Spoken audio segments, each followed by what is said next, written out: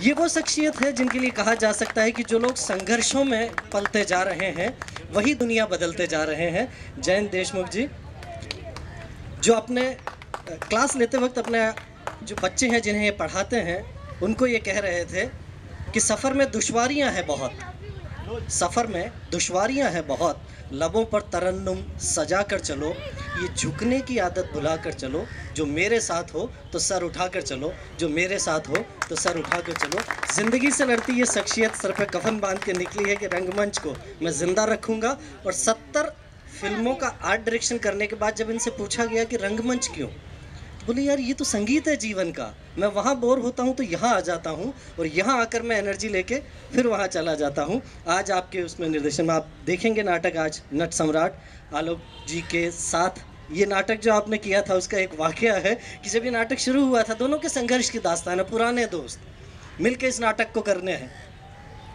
और इस नाटक को जब करने के लिए आलोक जी के जैकेट का बटन लगाना था तो उनका पेट थोड़ा सा बाहर आ रहा था तो इन्होंने लोगों ने कहा जी ये नाटक हो पाएगा। तो उन्होंने उसकी जैकेट के बटन लगाते हुए कहा था कि दसवें शो में ये पेट अंदर होगा और पंद्रहवें शो में ये नाटक देश में नाम करेगा। उसी नाटक के साथ मैं जयंत जी को आ, मंच पर पुनः स्वागत करता हूँ। हमारे साथ एक और शख्सियत आज यहाँ पर है जिनका चिर परिचित चेहरा हम सब के जहन में वैसे ही बसा हुआ है जैसे जयपुर के लैंडमार्क्स बसे हुए हैं। मैं सुनील सिन्हा जी को मंच पर आमंत्रित कर रहा हूँ। पढ़ने के दौरान से लेकर सुनील जी से बहुत लगाव रहा है हमारा। आपने कई फ़िल्मों में सुनील को देखा होगा। सुनील माचिस से लेके रुदाली तक, गुलजार साहब के अनेक प्रोडक्शंस में आप नज़र आए हैं। मिर्ज़ा गालिब में आप बहुत ही शानदार रोल में थे। उसके अलावा आपने एकजुट में नादिरा जी के साथ बहुत सारे रोल किए हैं। मुझे भी सौभाग्य मिला कि मैंने पृथ्वी थिएटर में आपके नाटक देखे हैं और बड़ा आनंद आता है जब भी मैं सुनील भाई के साथ आ, कुछ काम करता हूँ या सुनील भाई को काम करते हुए देखता हूँ बड़ा मज़ा आता है। सुनील जी भी बता रहे थे कि अभी कुछ नए नाटकों के प्रोडक्शन पर आप काम कर रहे हैं। हमारी शुभकामनाएँ और जयपुर में आपका स्वागत। घर है आपका। दूसरा एक और बात होती है कि जब भी आप कहीं ट्रैफ़िक के चालान में फंस जाते हैं या किसी मुसीबत में होते हैं तो आपको पुलिस वाले याद आते हैं। और जब पुलिस वाले के पास हम फंस जाते हैं तो पुलिस वाले सबसे पहले हमसे पूछते हैं क्या नाटक है? लेकिन अगर कोई पुलिस वाला नाटक करने लगे तो वास्तव में ये काम सौरभ श्रीवास्तव साहब ही कर सकते हैं। तो मैं मंच पर आमंत्रित कर रहा हूँ आईपीएस सौरभ श्रीवास्तव साहब को। और नाटक से जुड़ने के बाद बेहतरीन निर्देशक, बेहतरीन अपने अभिनेता इनके व्यक्तित्व में ही बदलाव आ गया। ये भी बता रहे थे कि पर्सनालिटी बदल गई। तो मैंने बड़ा गौर से देखा तो मूछों पे हाथ फेरते हुए बोले, ये मूछें उसी नाटक की देन है। टेनिस के बड़े अच्छे खिलाड़ी हैं। बहुमुखी प्रतिभा के धनी हैं। कई नाटकों का निर्देशन आपने किया है। मायने गंभीर होने के। आपका नाटक अभी सात तारीख को यहाँ पर हुआ है और जयपुर ने बहुत अ, दिलो जान से उस नाटक को सराहा है।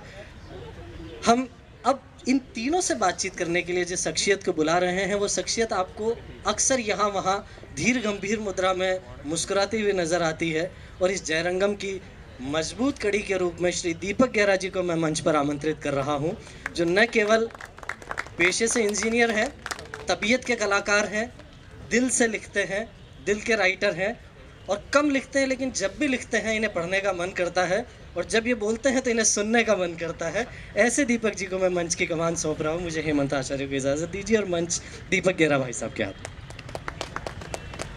Thank you Hemant. पैनल बहुत सुदृढ़ है। और विषय जो रंग संवाद की टीम ने रखा है। अब वो वैसे तो विषय ऐसे लगता है जैसे किसी डिबेट को अंजाम देने वाला है कि थिएटर किसका, नाटक किसका, निर्देशक का या अभिनेता का। तो चलो, थोड़ी डिबेट भी हो जाएगी तो आनंद आएगा और किसी निष्कर्ष पे पहुँच जाएँगे तो भी आनंद आएगा।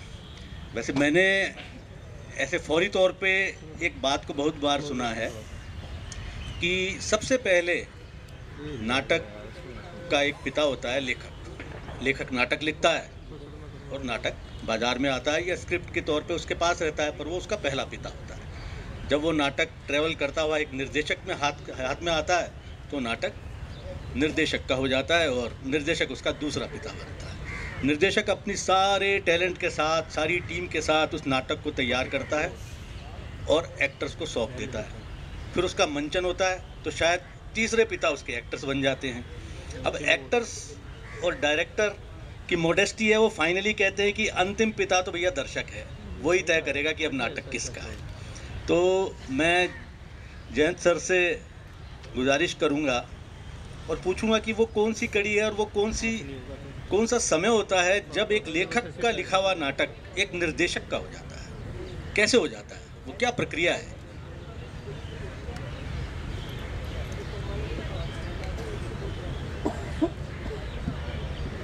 तो मैं बातचीत शुरू करता हूँ अपने किए नाटकों से। मैं भारत भवन भोपाल में एक रंगमंडल हुआ करता था, जो अब बंद हो गया है। वहाँ मैं दस साल था और प्रोफेशनल एक्टर था। तो वहाँ रहते रहते मैंने भोपाल शहर के कुछ साथियों के साथ अपना एक ग्रुप बना के प्ले डायरेक्ट करने लगा था। जैसे कहा दीपक जी ने कि लेखक सबसे इम्पोर्टेंट है। या लेखक कह लें, या वो सूत्र कह लें, या वो कथा कह लें, कहानी कह लें, जिससे नाटक बना। क्योंकि मनुष्य की प्रकृति है, प्रवृत्ति है कि अपने आप को एक्सप्रेस करने की। वो पेंटिंग में करता है, वो स्कल्पचर में करता है, वो कविता में करता है। उपन्यास में करता है।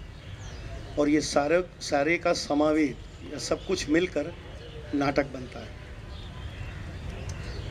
मेरे मायने से, मेरी समझ से जितना मैंने काम किया है कि नाटक की स्क्रिप्ट आने के बाद, चाहे वो नाटककार ज़िंदा हो, चाहे मरा हो।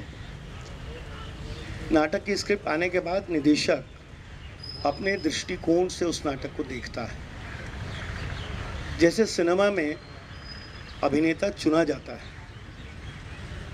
बहुत कमर्शियल सिनेमा की बात करें तो अमिताभ बच्चन आज ज़्यादा बिकाऊ हैं, इसलिए वो बिक रहे हैं। या अजय देवगन, या ऋत्विक रोशन, या और कुछ मान लें। वैसे ही थिएटर में भी डायरेक्टर चुनता है। अपनी कथा के हिसाब से एक अभिनेता को चुनता है।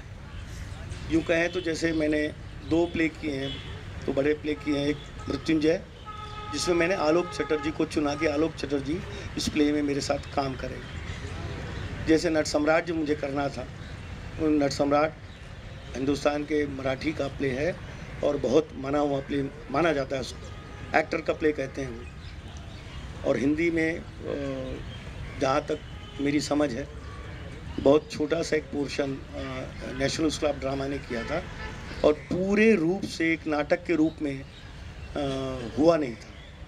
मेरे मन में बहुत दिनों से इच्छा थी और ये नाटक करना चाहिए। तो फिर मैंने अब अभिनेता चुना, वो चुना आलोक चटर्जी। मैं इस बात की ओर जा रहा हूँ धीरे धीरे कि अभिनेता बहुत इंपॉर्टेंट है। क्योंकि नाटक जब आप पढ़ते हैं, एक निदेशक के रूप में जब आप नाटक पढ़ते हैं तो नाटक पढ़ते हुए आपको उसके चरित्रों से कौन सा अभिनेता कर सकता है, ये आपको समझ में आने लगता है। क्योंकि आप एक शहर में करते हैं काम यदि एक शहर से जाके दूसरी जगह चले जाते हैं। जैसे मैं आधे अधूरे से अपना उदाहरण लूँ तो मध्य प्रदेश नाट्य विद्यालय के लिए मैंने ये प्ले किया था। वहाँ चौबीस विद्यार्थी थे और उनको मुझे रियलिस्टिक प्ले करना था मुझे। प्ले में बारह बारह लोग ही हैं। वहाँ भी मैंने सावित्री, जुनेजा, जगमोहन, वो चुना में। एक्टर सारे थे, अच्छे एक्टर्स थे। पर उसमें मैंने अपने लिए सावित्री चुनी कि सावित्री कौन करेगी? इसलिए मेरा मानना ये है कि अभिनेता मुझे लगता है बहुत इंपॉर्टेंट है। क्योंकि बहुत सारा निदेशक करने के बाद अभिनेता अपने अभिनय से उस चरित्र के साथ वो न्याय करते हुए, न्याय बहुत रूढ़ शब्द है, बहुत बड़ा शब्द है, करते हुए बहुत सारे वो चरित्र को निभाने की कोशिश करता है और बहुत सारी चीज़ें उसमें अपने मन से करता है। आज आप नाटक देखेंगे तो जिन्होंने नाटक पढ़ा है, वो जब आप देखेंगे तो आप देखेंगे बहुत सारी चीज़ें हैं। मेरी की हुई नहीं है, वो आलोक की की हुई एक अभिनेता की की हुई है। कई बार अभिनेता बिना संवाद के भी संवाद करता है, और इस नाटक में आपको बहुत ज़्यादा दिखेगा। इसलिए मेरा ये मानना है कि अभिनेता बहुत इम्पोर्टेंट है। कई लोग कहते हैं, दुनिया में बहुत सारे लोग हैं, जो ये कहते हैं कि मुझे ना अभिनेता की ज़रूरत है, ना मुझे कहानी की ज़रूरत है, फिर भी मैं नाटक करता हूँ। तो उसके हिसाब से वो निदेशक होगा, निदेशक का प्ले हो गया। और मैं मानता हूँ, निदेशक का प्ले सात बजे के पहले तक होता है। सात बजे जैसी तीसरी घंटी बजती है और नाटक शुरू होता है तो नाटक अभिनेता का हो जाता है। क्योंकि अभिनेता उस विचार को जो निदेशक दिखाना चाहता है, बताना चाहता है उसको कैरी करते हुए ऑडियंस तक पहुंचाता है। ये बिल्कुल फाइनल बात है कि दर्शक ही ये तय करता है कि नाटक अच्छा है, अभिनय अच्छा है या निर्देशन अच्छा है। ये एक अलग बात है, इस पर बहुत बहस हो सकती है।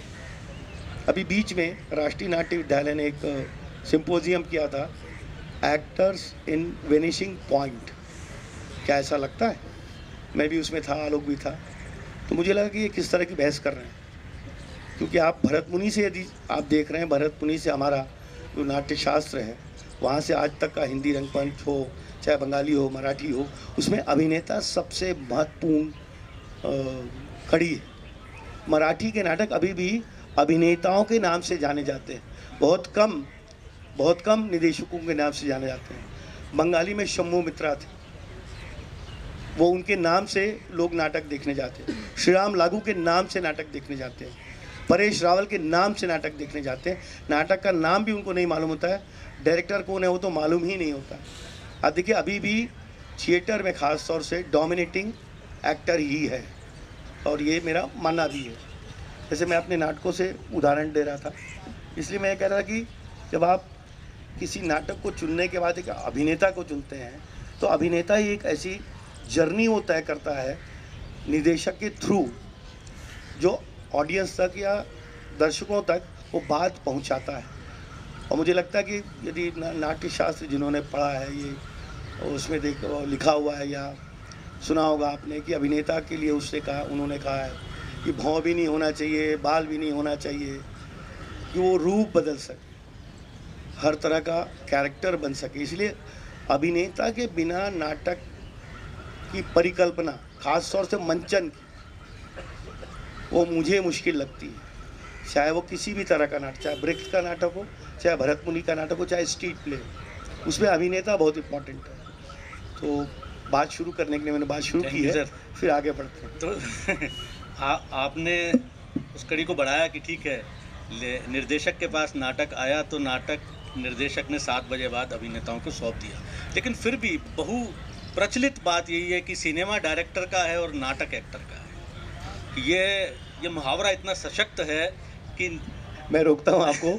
आजकल सिनेमा एक्टरों का भी है। हाँ एग्जैक्टली exactly. मैं मैं भी डायरेक्टर बहुत मतलब गिने हुए डायरेक्टर हैं। हम्म। अभी सुभाष घई नई नई फ़िल्म बनाते हैं तो पहले वो देखते हैं कि एक्टर कौन है। स्टार्स अभी सुभाष घई के नाम से लोग फ़िल्म देखने नहीं जाते हैं।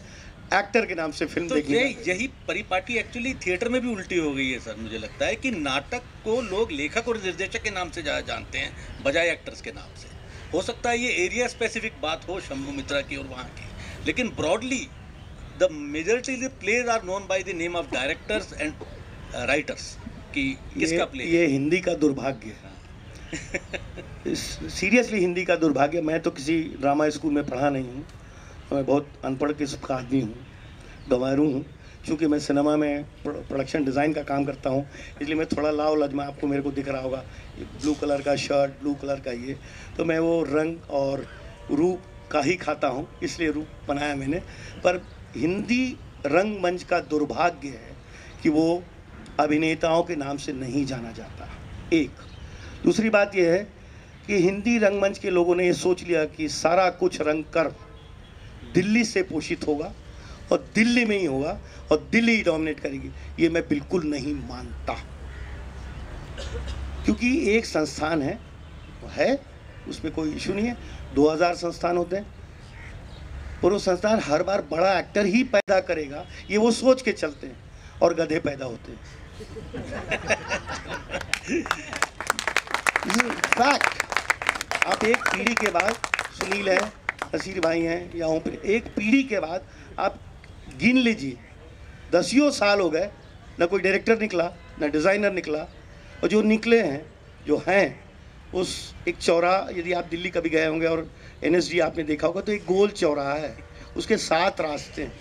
वो उधर ही घूमते हैं। उसी साथ में स्ट्रगल है उनका, उसी साथ में वो अपना भजन करते हैं एक दूसरे के लिए। तूने अच्छा किया, मैंने भी बहुत अच्छा किया। उसने खराब किया। और हम कर रहे हैं तो पूरा देश का रंग कर हम बदल देंगे। ये गलत ये सरासर गलत क्यों? एक छोटे से गाँव से आया हुआ हबीब तनवीर दुनिया का बड़ा डायरेक्टर बनता है बिना किसी इंस्टीट्यूट के पढ़े हुए। राडा को छोड़ दीजिए आप। वो लौटने के बाद जब उनको पता चला कि चंद्रैनी राउत नाचा, जो भी छत्तीसगढ़ की फोक कलाएँ हैं, उन्होंने एडॉप्ट करके फिर अपना एक प्रोसेस तैयार मैं ये नहीं कहता, मैं नकारता भी नहीं हूँ एन को, क्योंकि कारण जी मेरे गुरु रहे हैं और बहुत सारे बड़े डायरेक्टर्स लोग हमको पढ़ाने आए हैं। हमने उनके साथ काम किया है, पूरे देश के बड़े रंगकर्मियों के साथ और डायरेक्टरों के साथ। मैं नकारता नहीं हूँ, पर मैं ये मानता हूँ कि कहीं ना कहीं उनका भी ये हिस्सा है कि हिंदी में एक्टर के नाम से थिएटर नहीं जाना जाता है। थैंक यू सर मेरे ख्याल से ऑडियंस ने भी बड़ी भरपूर सहमति दी कि कोई एक संस्थान के कारण कोई एक्टर या डायरेक्टर पैदा नहीं हो रहे। लेकिन फिर भी मैं सुनील सर से पूछूँगा, सुनील सर, कि क्या एब्सोल्यूट टर्म्स में भी हम कह सकते हैं, सर? ये बात है कि रंगमंच अभिनेता का ही है।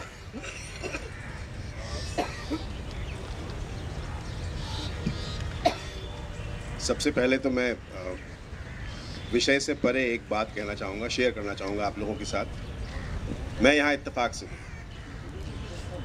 और मैं इसमें आपकी दाद देना चाहता हूँ, आपकी ईमानदारी और साफगोई की, कि जब आपने मुझे फ़ोन किया तो उन्होंने बताया कि आलोक आने वाले थे, उनकी फ़्लाइट लेट हो गई है तो अब एक एक्टर चाहिए जो बोले। तो आप क्या आ सकते हैं? तो मैं उस तैयारी से नहीं आया। पहली बात अब आ जाते हैं विषय पर। सर पर हम भी आपकी दाद देते हैं कि सर आपने इतने कम समय में ये निमंत्रण को स्वीकार किया और यहाँ तक आए सर। ये भी एक एक्टर कर सकता यू है। थैंक यू एक बात मैं कहना चाह रही हूँ इस बात पर कि आलोक दादा के आने का पता तो मुझे बहुत लेट लगा पर उसके पहले जब हमने कल आपको यहाँ देखा। तो यहाँ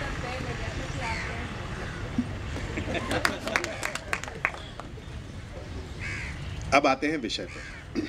नाटक किसका? तो एक नाटक है चरणदास चोर।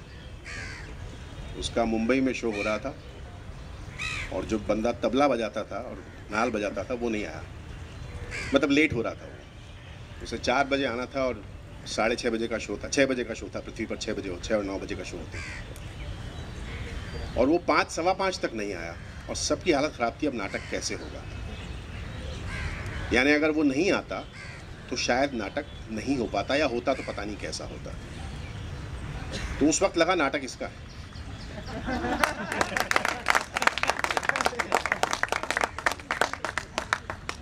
फिर जब अभी जयंत ने रंगमंडल की बात की तो जब 82 में रंगमंडल बना था तो मैं, क्योंकि कारण जी का स्टूडेंट था 78 से 81 तक, और कारण जी का बहुत स्नेह था मेरे ऊपर तो उन्होंने मुझे रंगमंडल बुलाया कि रंगमंडल शुरू कर रहे हैं, तुम आ जाओ म्यूज़िक में तुम मेरी हेल्प करना। तो इन लोगों के साथ एक प्ले किया था उन्होंने घासी राम कोतवाल। आलोक भी था उसमें, जयंत भी था और बाकी सारे लोग थे। उसमें मैं और कारण जी हारमोनियम लेकर के साइड में बैठते थे और म्यूज़िक करते थे, गाते भी थे और सबको एक्टर्स को सुर भी देते थे। कल्पना कीजिए कि वो हारमोनियम वाला किसी दिन ना हो तो क्या होगा? तो नाटक उसका। क्योंकि अंग्रेज़ी में जो ड्रामा है, वो लिटरेचर है। और जो थिएटर है, वो प्रैक्टिकल है। स्क्रिप्ट किसकी? स्क्रिप्ट राइटर नाटक किसका? नाटक करने वालों मेरे ख्याल से ये जो परिचर्चा है, यहाँ ख़त्म हो जाएगी, अगर मैं कह दूँगा नाटक किसका? नाटक करने वालों का। जो जो लोग नाटक में, नाटक से जुड़े हैं, नाटक उनका है। अगर आपका लाइट वाला नहीं आता है शो में, या लेट आता है तो आप सबकी हालत ख़राब होती है, जितने लोग नाटक करने वाले हैं। अरे यार, वो नहीं आया, आप कैसे करेंगे? तो तब आप कहते हैं कि हाँ नाटक इसका है। और रही बात नाटक निर्देशक का है और जो अभी दीपक जी ने कहा कि यहाँ निर्देशक ज़्यादा जाने जाते हैं बजाय बनस्पत के एक्टर्स के तो नाटक निर्देशक का तब जब वो ग्रांट्स के लिए अप्लाई करते हैं। नाटक निर्देशक का तब जब वो परिचर्चाओं में बोलते हैं। लेकिन दरअसल देखा जाए तो नाटक सिर्फ़ और सिर्फ़ करने वालों का माध्यम है। निर्देशक का जन्म तो बहुत सालों के बाद हुआ है नाटक करने के। अगर हिस्ट्री ऑफ़ थिएटर देखेंगे आप तो डायरेक्टर का जन्म बहुत बाद में हुआ है। पहले तो कुछ एक्टर्स मिलते थे और किसी मुद्दे पर इम्प्रोवाइज करते थे और एक नाटक कर डालते थे। बाद में लगा कि एक समग्र सोच के लिए एक ऐसा आदमी चाहिए जो बाहर से देख करके ये बता सके कि हम लोगों का बैलेंस बराबर है या नहीं है। क्योंकि अभिनेता जो है, वो अपनी सोच से अपने पात्र पर ध्यान देता है, हर अभिनेता। और निर्देशक जो है, वो समग्र रूप में नाटक क्या कहना चाहता है, उस पर काम करता है। और उसको बैलेंस करता है। इसलिए नाटक किसी एक की बकौती नहीं हो सकती। किसी एक की मतलब जायदाद नहीं हो सकती कि नाटक मेरा है। जहाँ तक फ़िल्मों की बात है, बिना एक्टर्स के फ़िल्में बनी है, बनाई जा सकती है। बिना एक्टर के नाटक नहीं हो सकता। कोई भी नाटक आज तक की इतिहास में बिना एक्टर के नहीं हो सकता। आप सिर्फ़ सेट्स और लाइट लगा करके इंस्टॉलेशन कर सकते हैं, नाटक नहीं कर सकते। तो नाटक तो है एक्टर का भी है, उतना ही जितना प्रॉपर्टी करने वाले का है म्यूज़िक करने वाले का है कॉस्ट्यूम करने वाले का है लाइट्स करने वाले का है पब्लिसिटी करने वाले का है, या डायरेक्टर का है। हाँ डायरेक्टर उस टीम का कैप्टन ज़रूर होता है। लेकिन जैसा अभी जयंत ने बोला कि सात बजे बाद नाटक जो है, वो डायरेक्टर के हाथ से निकल जाता निकल जाता है। और सात बजे के बाद उसे पता नहीं होता कि ये नाटक अच्छा होने वाला है या बुरा होने वाला है, क्योंकि बुरा एक्टर अपने हिसाब से उसे बुरा कर डालता है गैलरी से प्ले करना शुरू कर देता है। और डायरेक्टर विंग्स में दाढ़ी नोचने लगता है या बाहर चला जाता है या पौवा खोल लेता है। और अच्छा एक्टर विंग्स में खड़ा होकर नाटक देखता है कि हाँ यार इसने अच्छा किया। तो वो जो कंट्रोल है निर्देशक का वो थर्ड वेल तक है सिर्फ़। उसके बाद नहीं तो मेरे ख्याल से नाटक जो है वो सबका है। लेकिन फ़िल्म जो है वो सिर्फ़ और सिर्फ़ निर्देशक की निर्देशक नाटक सबका सॉरी एक एक लाइन मैं पूरी कर दूँगा बात। फ़िल्म जो है, वो फ़िल्म की शूटिंग से पहले भी बन रही होती है और फ़िल्म की शूटिंग के बाद भी बनती रहती है। ऐसे तमाम निर्देशक हैं पुराने, जिन्होंने अगर तीन घंटे की फ़िल्म दिखाने के लिए शूट की थी तो जो टोटल फुटेज था, वो बारह घंटे का था, या बीस घंटे का था। वो फ़िल्म उन्होंने एडिटेबल बनाई है। और उसमें जिस एक्टर ने शायद जो बेस्ट परफॉर्मेंस दिया होगा, वो काट दिया गया होगा, क्योंकि वो फ़िल्म में फिट नहीं हो रहा। तो इसलिए फ़िल्म जो है, पूरी तौर पर निर्देशक का माध्यम है। हाँ ये एक अलग दुर्भाग्य है फ़िल्म का कि हमारे यहाँ फ़िल्म इंडस्ट्री में, हमारे यहाँ क्या सब जगह, पूरी दुनिया भर में स्टार्स के नाम से फ़िल्म बिकती है। लेकिन वो एक वो बिज़नेस की बात हो गई फ़िल्म की कमर्शियल बात हो गई कि फ़िल्म किसके नाम से बिकती है। लेकिन फ़िल्म बिकना या ना बिकना, अच्छी फ़िल्में अब भी बनती हैं नए नए एक्टर्स उसमें आते हैं, अच्छी फ़िल्मों में काम करते हैं, लोगों को पसंद आती हैं, और फ़िल्में बिना एक्टर्स की भी बनती हैं। Thank you thank you Sunil Sunil ji ने बड़ी अच्छी बात बताई कि निर्देशक जो है वो बाद में आया सीन में यानी कि नाटक दल रहे होंगे या दल ऑर्गेनाइज नहीं रहे होंगे अभिनेता होंगे वो अभिनय करते होंगे उनको समन्वय किया एक कोऑर्डिनेट किया और फिर नाटक नाटक की तरह प्रस्तुत हुआ तो निर्देशक जो है दृश्य में आया सर, मैं सौरभ जी से पूछूँगा। सौरभ जी तो लेखक भी हैं, निर्देशक भी हैं और एक्टर भी हैं। अब इन्होंने तीनों कमान एक साथ संभाल रखी है। तो निर्देशक एक खाली समन्वयक है या नाटक में अपना क्या डालता है? तो ये रोल जो है मतलब एक एक्टर का और एक डायरेक्टर का। फिर ये with with hand in hand contribution क्या होता है? एक खाली कोऑर्डिनेटर तो नहीं होगा वो। निर्देशक डालता क्या है एक्टर उसको लेता क्या है, और सात बजे बाद एक्टर अपनी स्पेस कैसे ढूंढता है, जब डायरेक्टर अब सामने नहीं है। तो you are the best person to tell आप तीनों रोल एक साथ निभा रहे हैं सर दीपक जी ने बातचीत की शुरुआत में ही इस विषय को ऐसा घेर दिया कि सब उसी के भीतर बोल रहे हैं। इन्होंने शुरुआत इस चीज़ से करी कि नाटक की स्क्रिप्ट लिखी जाती है, लेखक लिखता है, निर्देशक उसे निर्देशित करता है, एक्टर उसमें अभिनय करता है और फिर वो दर्शकों के सामने पहुँचता है। और मेरे ख्याल से फिर ये सारी बात इसी पे होने लगी कि क्या ज़्यादा महत्वपूर्ण है लेखन या निर्देशन या अभिनय। मैं कोशिश करूँगा कि मैं अपनी समझ से, मैं प्रोफेशनल थिएटर वर्कर तो नहीं हूँ, लेकिन सन उन्यासी अस्सी से लगभग लगातार अमेच्योर थिएटर कर रहा हूँ। अर्ध व्यावसायिक थिएटर भी किया है। अर्ध व्यावसायिक उसे इसलिए कहूँगा कि उसमें हम मुफ़्त में निमंत्रण दे के लोगों को नहीं बुलाते थे, दर्शकों को, टिकट बेच के बुलाते थे। हम उसके ऊपर आजीविका नहीं चलाते थे, लेकिन दर्शक पैसे दे के टिकट ले के आते थे वो थिएटर देखने। भारत भवन रंगमंडल के साथ हमारा उस ज़माने में बहुत गहरा म्यूचुअल संबंध था। हम अपने नाटक इलाहाबाद से कैंपस थिएटर सचिन तिवारी के साथ में काम करता था। लेके वहाँ जाते थे भोपाल, भारत भवन में और वहाँ के सारे नाटक हम इलाहाबाद मंगा के फेस्टिवल्स में कराते थे। है वदन और जी, महानिर्वाण स्कंदगुप्त सभी आए थे वहाँ। हम अपने नाटक भी ले जाते थे, मैं भी गया हूँ। खैर, वो सिर्फ़ इसलिए कि जो मेरा अनुभव है पर मेरा ये मानना है कि नाटक को सिर्फ़ दो चीज़ों की दरकार है। एक दर्शक और दूसरा वो नाट्यकर्मी जो उसे कर रहा है। उसे आप अभिनेता का नाम दे दीजिए। स्क्रिप्ट की दरकार ज़रूरी हो, नहीं है। बहुत सा नाटक सिर्फ़ आंगिक हो सकता है। बहुत सा नाटक बिना शब्द के हो सकता है, बहुत सा नाटक बिना स्क्रिप्ट के हो सकता है।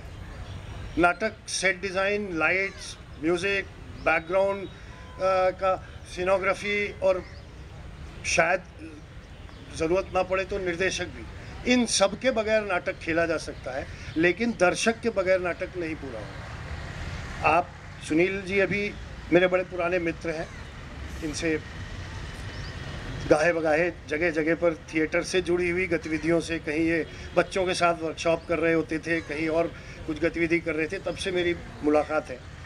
अभी ये कह रहे थे कि उस रोज़ वो ढोल नाल बजाने वाला नहीं आया तो समझ में आया नाटक किसका है। पर आप कल्पना कीजिए, किसी ऐसे शो की, जिसमें तीस लोगों का एक थिएटर का दल अपना प्रदर्शन करने के लिए मंच पे तैयार बैठा है और किसी कारण से एक भी दर्शक ना आए कोई वजह हो सकती है? शहर में कर्फ्यू लग गया, बाढ़ आ गई। कोई वजह हो सकती उस दिन की कल्पना कीजिए। तो नाटक, मेरा ये मानना है कि अभिनेता और दर्शक दोनों का है, यही दो उसके मूल तत्व हैं। ज़रूरी नहीं कि उसमें स्क्रिप्ट हो, ज़रूरी नहीं कि उसमें और कोई भी चीज़ हो। आखिर नाटक है क्या? आपने शुरुआत में ही जयंत जी ने ये बात कही कि एक आदमी की अपने आप को एक्सप्रेस करने की, अपने आप को अभिव्यक्त करने की एक इच्छा होती है। वो एक आदिम इच्छा है। गुफा मानव जब था वो, तब भी वो अपनी भावनाओं को और अपने अंदर की रचनात्मकता को उन पहाड़ियों की, गुफा की दीवारों पर पत्थर से कुरेद कुरेद के चित्र बना बना के, जो भित्ति चित्र, गुफा चित्र के नाम से जाने जाते हैं अपने आप को एक्सप्रेस करता था। शिकार कर लेता था तो खुश होकर नाचता था।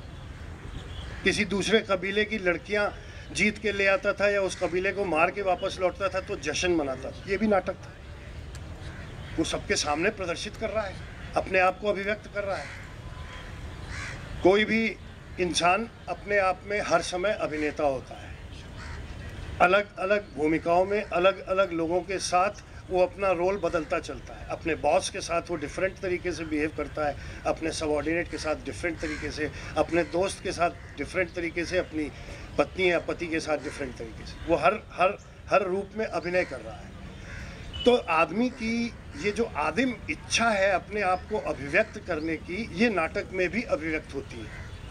पूरी कलात्मकता के साथ होती है, पूरी रचनात्मकता के साथ होती है। वो क्रिएटिविटी जब दर्शक तक पहुँचती है और दर्शक उसे रिसीव कर लेता है, तब ये प्रक्रिया नाटक की पूरी होती है। मंचन और दर्शकों के द्वारा उनको ग्रहण करना। इस प्रक्रिया में निर्देशक की जो भूमिका है वो अलग है। वो उसे इस तरह से विजुलाइज करके इस तरह से डिज़ाइन करके पेश करता है कि जो वो अभिनेता के माध्यम से या जो उस स्क्रिप्ट में है उसकी जो उसका जो कथ्य है उसको वो दर्शकों तक बेहतर तरीके से पहुँचा सके। नाटक बाकी सबके बगैर हो सकता है लेकिन अभिनेता और दर्शक इन दो की गैर मौजूदगी में नाटक नहीं हो थैंक सकता। यू सौरभ जी।